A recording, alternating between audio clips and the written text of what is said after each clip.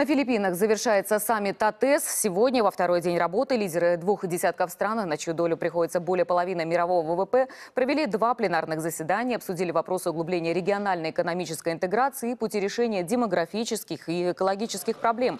Делегации стран-участниц, в том числе российской, во главе с премьером Дмитрием Медведевым, уделили особое внимание поощрению торговли и стабилизации финансовой ситуации в Азиатско-Тихоокеанском регионе. К подписанию подготовлена итоговая декларация.